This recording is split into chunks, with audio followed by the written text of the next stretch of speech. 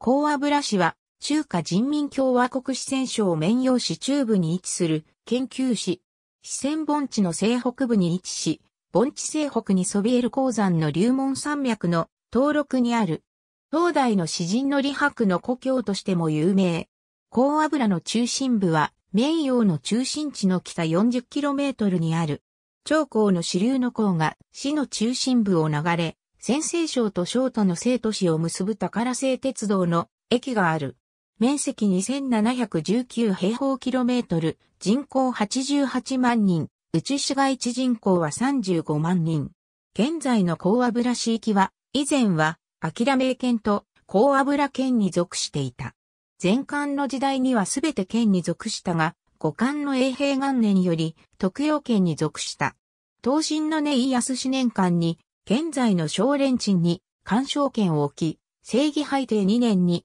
正高県となり、唐の先天元年には正明県、高等の同行元年には諦め県となった。一方、高油、北義の聖史2年に、現在の平武南に高油県が設置され、宋代には現在の県城の位置に移動し、現代には劉州に入れられ、秋代には州が廃止され高油県が復活した。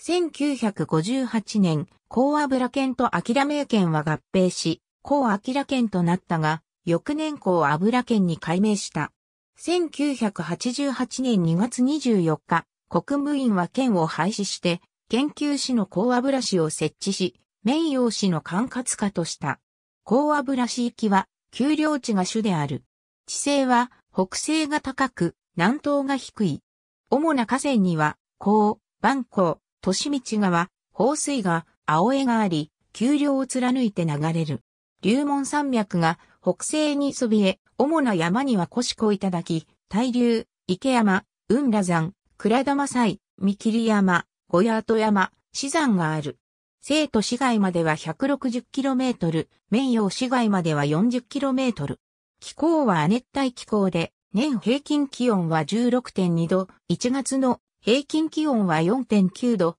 7月の平均気温は25.7度。年平均降水量は 1148mm。砂金、天然ガス、石油、石炭、鋼鉄鋼、大理石、石灰石、流鉄鋼などの鉱産資源が豊富。中華人民共和国の行政区分を参照1、街道21チーンに今日を管轄する。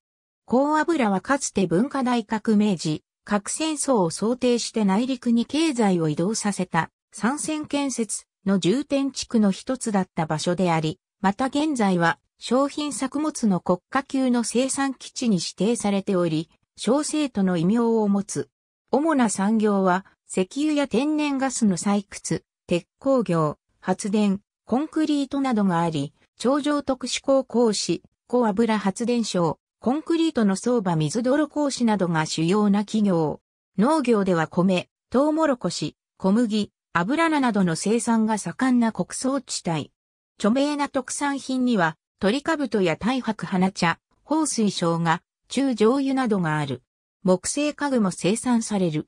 高油は、四川省の小級歴史文化名城に指定される町で、東大の著名な詩人、李白の故郷としても売り出している。